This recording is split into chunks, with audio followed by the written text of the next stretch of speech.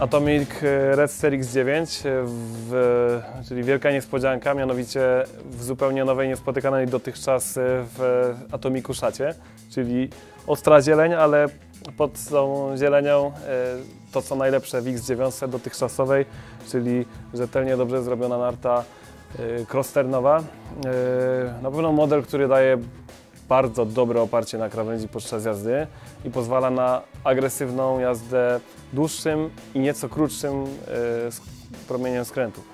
E, Tutaj mamy 175. Powiedziałbym, że jej optymalnym takim skrętem jest e, krótszy skręt gigantowy albo coś nawet pomiędzy, coś charakterystycznego dla skrętów podczas slalomu równoległego.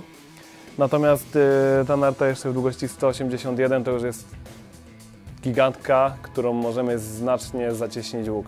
Przede wszystkim polecam e, X9 e, wszystkim osobom, które, które lubią nartę wymagającą, lubią nartę dynamiczną, dynamiczną gigantkę, ale czasami mie- miewają problemy z tym, że, że dobra narta gigantowa na stromszych, bardziej oblodzonych odcinkach za bardzo nas rozpędza. E, W modelach, jadąc na nartami Atomic Red Series 9 możemy w każdej niemal chwili taki dłuższy skręt zacieśnić i przez to czujemy większą kontrolę.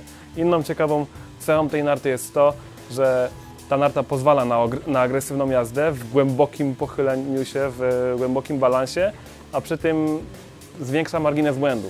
Przez to, że ma skrócony promień skrętu, pozwala nam na dużo więcej, nie wymagając aż tak dużej precyzji, jeżeli chodzi o technikę narciarza, na którym jedzie i właśnie myślę, że dlatego te narty co roku na testach wychodzą bardzo dobrze.